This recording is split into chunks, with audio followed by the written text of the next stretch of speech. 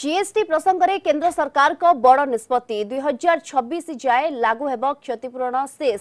चलित मास तीस तारीख में शेष होता अवधि और जीएसटी परिषद क्षतिपूरण शेष आदाय अवधि को पखापाखि चार वर्ष बढ़ाई राजस्व स्थित को देखि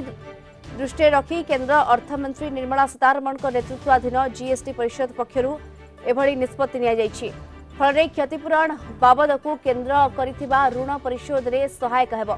तमाखु सिगारेट हुक्का मोटर जान एयारक्राफ्ट जहाज उपष आदाय जारी रहाकों एसबुरे अधिक अर्थ व्यय करने को पड़ आसंता अठाईस अंतीस सतचाशतम जीएसटी परिषद बैठक अनुषित होबु राज्य अर्थमंत्री जोगदे बैठक में राज्यगुड़िकर क्षतिपूरण फेमवर्क राजस्व स्थित आलोचना हो